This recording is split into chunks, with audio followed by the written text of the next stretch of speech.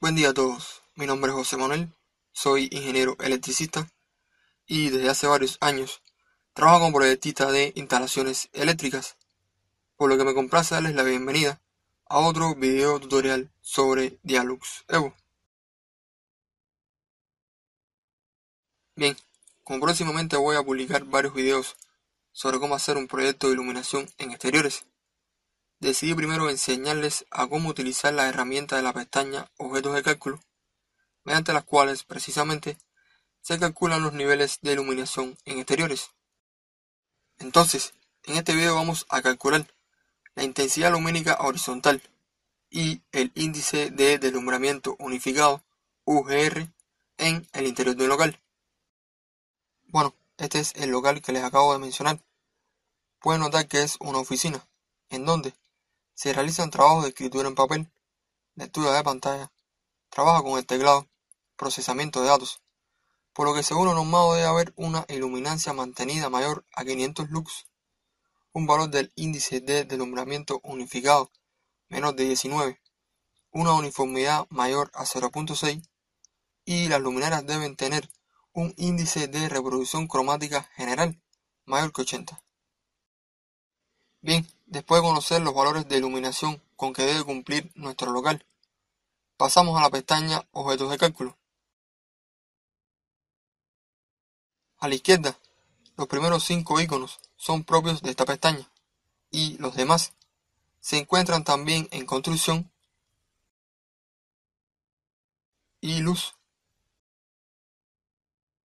por lo que no me voy a referir a eso.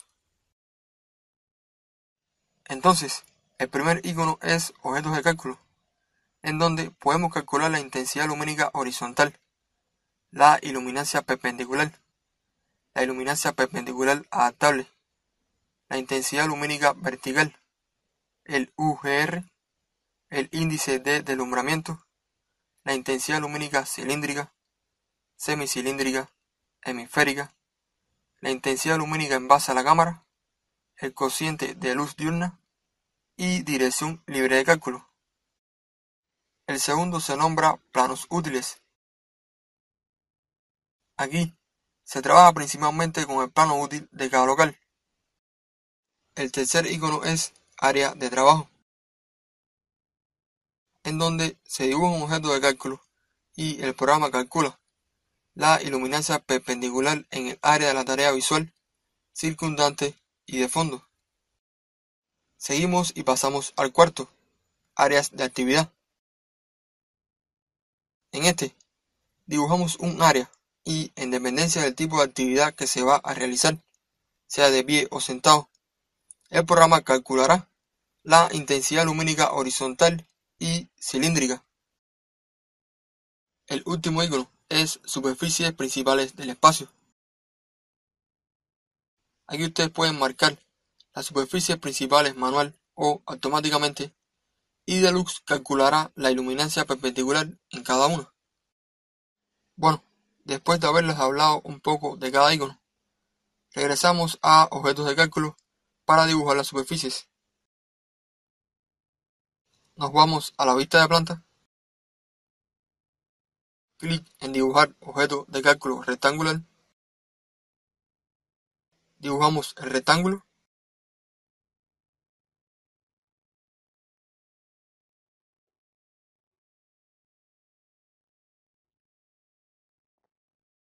Y mediante la herramienta gradación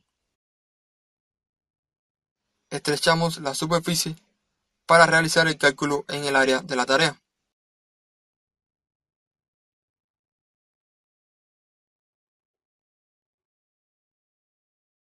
Bien, ahora en objetos de cálculo activos, propiedades, nombramos la superficie área de trabajo.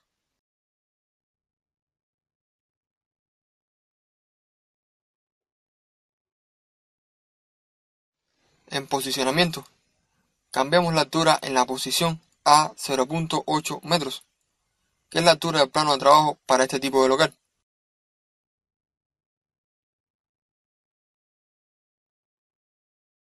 Y por último, marcamos en parámetros de cálculo intensidad lumínica horizontal. Debajo pueden configurar la trama de medición, las isolíneas y el gráfico de valores. También arriba en objetos de cálculo. Vamos a marcar colores falsos para que el programa los muestre en la superficie. Ok, ahora apretamos la tecla escape. Volvemos a la vista de planta y clic en dibujar objeto de cálculo rectangular para dibujar la segunda superficie.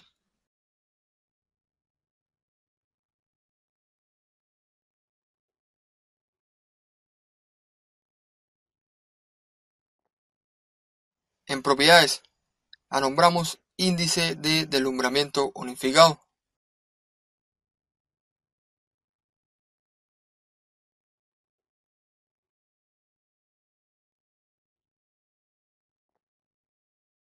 En posicionamiento, cambiemos la altura en la posición a 1.2 metros, que es la altura del ojo del observador.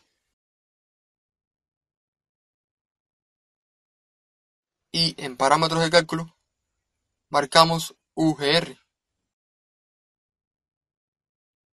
Bien, terminamos con las superficies y clic en proyecto completo para realizar el cálculo.